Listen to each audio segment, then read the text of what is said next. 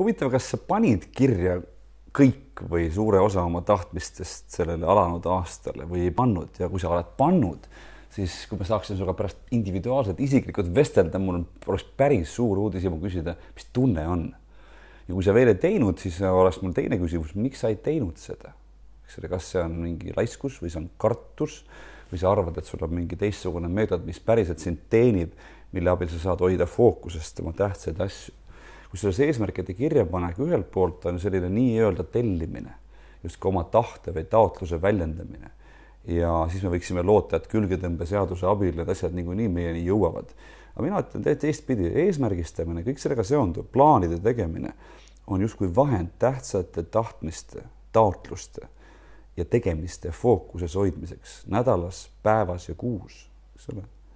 nüüd järgmine samm, meie neljas samm väga hea aasta loomisel on nende juba kirja pandud tahtmiste prioritiseerimine, sorteerimine ja täpsustamine. ehk kui hakata vaatama nüüd seda, ma ei tea, mitu sa panid, kümme, kakskümmend, võib-olla kolmkümmend, nelikümmend isegi, miks mitte, asja, aga võib-olla ma praegust sinu jaoks tugevalt liialdan, panid võib-olla kolm või neli asja. igal juhul ma soovitan hakata vaatama nii-öelda kahte lehte panema asju, lähtuvalt oma nii-öelda muudest prioriteetidest lähtuvalt elu tasakaalust või elu tasakaalu panekust, lähtuvalt oma kohustustest, mis sul niikuinii on. soovitan hakata sul nii-öelda kahte lehte neid tahtmisi panema, eriti just nimelt ajalises raamis järgmine aasta, kaksteist kuud. mis on tähtsamad ja mis on vähem tähtsad. ehk siis no esimene samm selle sorteerumise juures võikski olla nende asjade kahte lehte panek eks ole. ja siis tekib sul tõenäoliselt mingi, ma arvan, võib-olla viis või kümme või viisteist sellist tähtsamat eesmärki, osad neist on suuremad. ja osad neist on väiksemad. ja selle neljanda sammu juures ongi oluline valida välja, noh, kindlasti alla kümne, aga võib-olla kõigest kolm või neli sellist nagu kõige tähtsamat asja, mille, millel hoida fookust, hoida tähelepanu sel aastal, mida selle aasta alguses, keskel ja lõpus ilmtingimata ära teha. Ja kui mitte lõpuni edukalt, siis vähemalt teha olulist progressi nende suunas ja sealjuures teha olulist progressi iseendas. ma nimelt usun, et eesmärkide poole liikumise ja eesmärgistamise suurim võlu või suurim hüve on areng.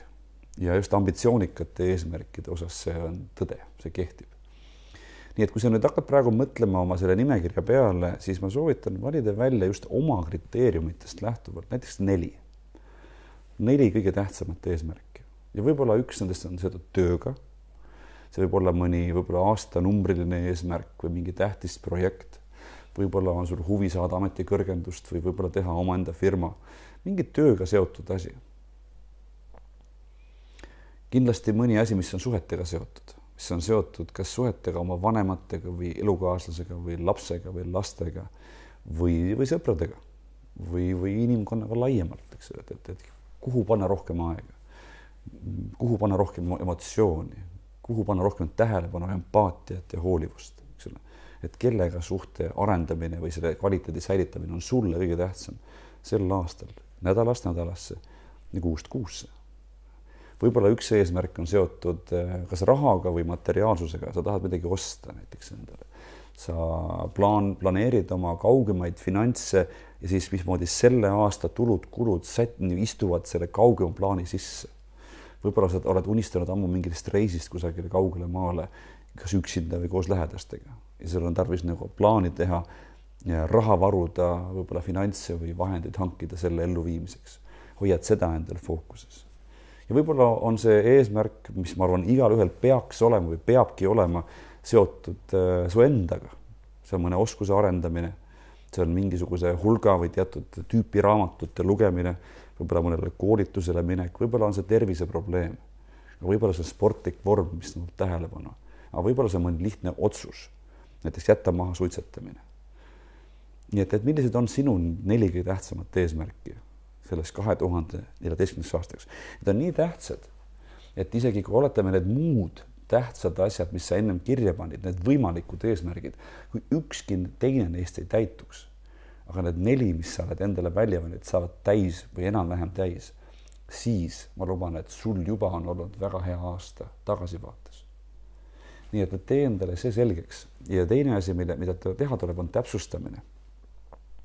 Ma olen väga seda meelt, et mida täpsemaks on eesmärk sõnastatud, mida see, mida, mida, mida noh, isegi tobe öelda kindlamini, et kui tal on olemas kuupäev oodatava täitmistähtaega, siis ta muutub nagu mõttes, tundes palju realistlikumaks, palju nii-öelda vajalikumaks ja su enda pühendumus ning otsusekindlus sellele tõuseb metsikult. nii et, et kirjuta oma neli tähtsamat eesmärki nii täpselt, kui sa vähegi oskad. sõnasta nad mina vormis ja olevikus ning pane neile kuupäev külge ja viimase asjana kirjuta juurde, miks, miks on sulle see eesmärk vajalik. Ja küsi seda küsimust endalt viis korda, miks, miks, miks? Niikaua, kuni sa jõuad põhilise, selle sügavaima põhjuseni, mis on emotsionaalne, mis sind liigutab, mis sind käima lükkab ja liikumas hoiab.